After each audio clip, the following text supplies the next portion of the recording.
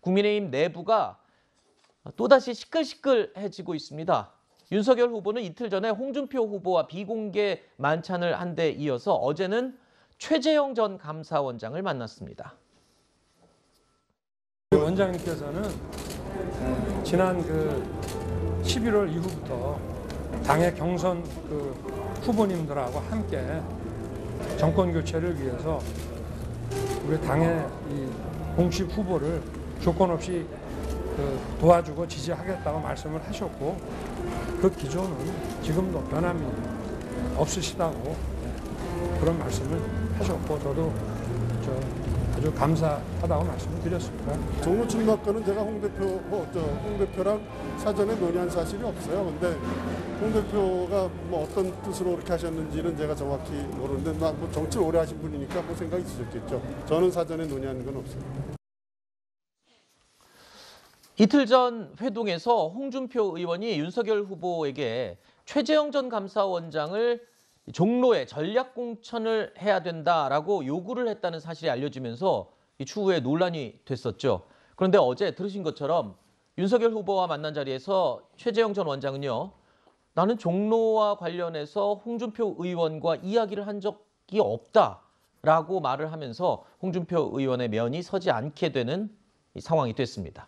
자, 윤석열 후보가 홍준표 의원에게 도움을 청하기 위해서 이 만찬을 했던 건데 지금 결과적으로 보면 오히려 잡음만 더 나오고 만나지 않은 것만 못하게 됐어요. 잡음은 나왔지만 사실상 홍준표 의원이 이 선대위에 합류하지 않는 것으로 결론이 나버린 상황이 돼버린 거죠. 그렇죠. 그러니까 잡음이 전 오히려 정리가 좀 됐다고 생각을 합니다. 아하, 오히려. 그러니까 이 상황에서 가장 이제 의문의 일패라고 하면 홍준표 의원이겠죠. 아, 홍준표 의원은 사실 소위 아 이제 내가 선대위 합류해서 우리 당의 후보가 당선되는 걸 돕겠다라는 그런 입장에서 굉장히 당 내에서도 환영을 받았습니다만 거기에 갑자기 두 명의 공천. 관련 얘기를 하면서 또 공천 거래, 공천 그러니까 본인의 그 합류를 빌미로 해서 자기 사람을 심으려는 것 아니냐, 이거 구태 정치가 아니냐라는 비판이 당내에서 많이 나오게 되고 여론도 우호적이지 않습니다. 홍준표 네. 의원에 대해서 이제 그런 상황이 됐기 때문에 물론 홍준표 의원 입장에서는 억울함을 표하고 있어요.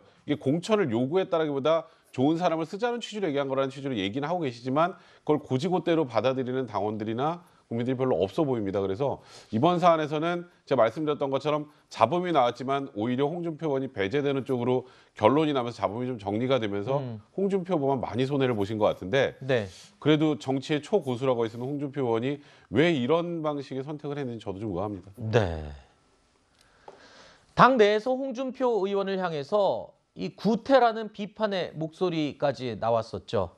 자, 이러자 홍준표 의원이 발끈하고 나섰습니다. 윤석열 후보 역시 공천에 대한 원칙론을 내세우면서 선을 그었습니다. 나는 취재 대상 아닙니다. 공천 문제를 두고 이견이 있었던 거 맞으세요? 갈등을 증폭시키는 그런 사람이 대선을 이끌어서 대선이 되겠습니까? 만약 그게 이견이 있다면 내부적으로 원혼을 해서 정리를 했어야지. 어떻게 후보하고 아, 이야기한 내용을 가지고 나를 비난하고 방자하다. 그건 방자하기 이를 데 없다. 파열음이 나온다는 얘기를 뭐 여러분은 들으셨겠지만 저는 아직 듣지 못했습니다. 공정한 그 위원회를 구성을 해서 그 위원회에다가 좀 맡기고 예, 저는 공천 문제에는 예, 직접 관여할 생각이 없습니다. 홍준표 의원은 한때 국민의힘 내분의 중심에 있었던 윤핵관을 다시 끄집어내서 언급을 하기까지 했습니다. 그러면서 선대위에는 참여하지 않겠다. 자, 선대본부죠. 선대본부에는 참여하지 않겠다라는 뜻도 공식화했습니다.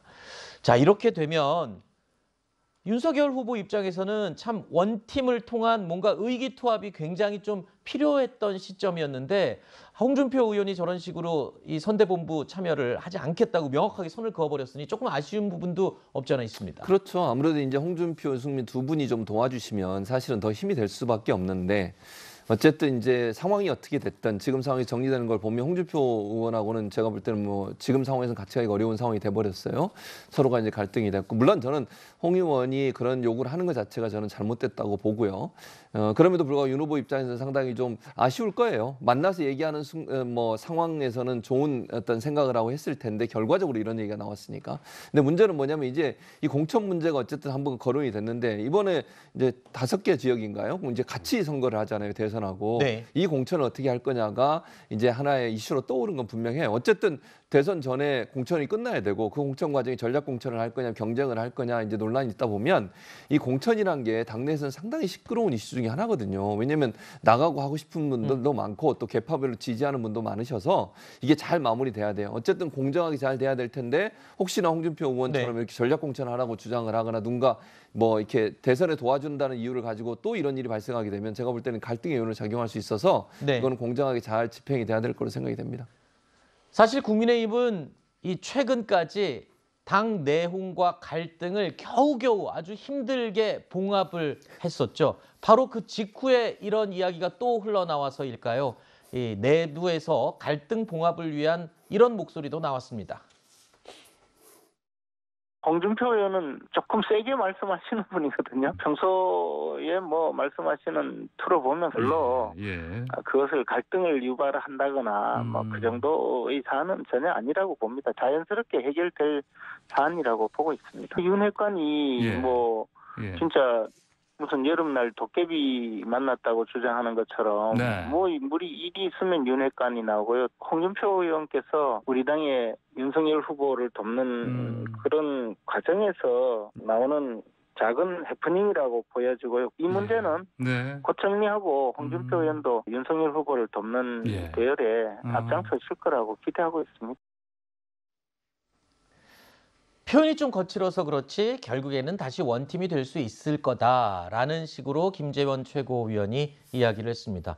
실제로 어떻게 될지 지켜보면 이- 그게 그게 바로 관전 포인트가 될 것 같습니다.